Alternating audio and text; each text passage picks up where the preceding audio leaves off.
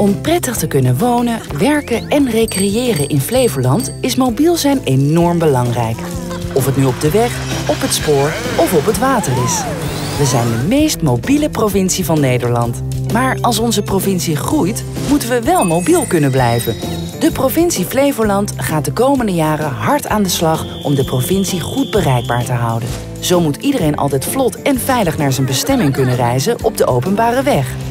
Voor automobilisten accepteren wij niet meer dan een kwartier vertraging op een uur reistijd. Ook tijdens de spits. Verder gaan we de betrouwbaarheid van het openbaar vervoer vergroten, zodat deze aansluit op de behoeften van onze inwoners.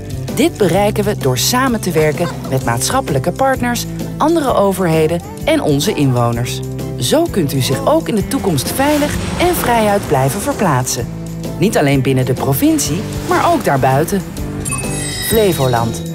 Innovatief en ondernemend.